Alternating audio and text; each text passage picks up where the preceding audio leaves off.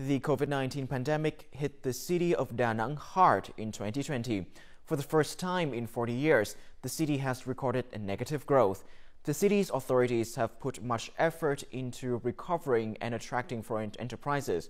In February, the authorities authorized seven new projects, of which three were from foreign direct investment or FDI, with a total capital of 280 million US dollars. These projects are part of the city's efforts to develop Da Nang into an innovative startup hub.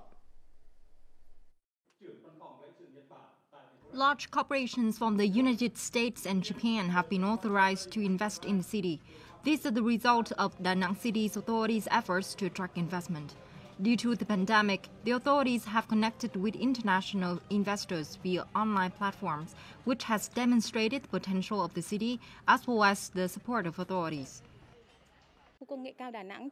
Due to the pandemic, the investors could not come to Vietnam, so they've authorized me to receive the investment registration certificate on their behalf.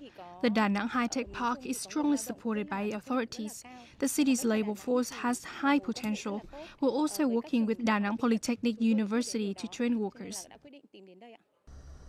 To attract more international investors, Da Nang has plans to expand its industrial zones. The Prime Minister has agreed to grant the city 59 hectares of land for the supporting industry. The city's authorities have set a goal of a 6% growth rate per year.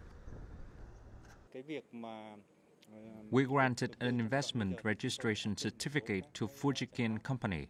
To attract investment, we have organized online investment promotion programs with enterprises from European nations, Japan, and South Korea.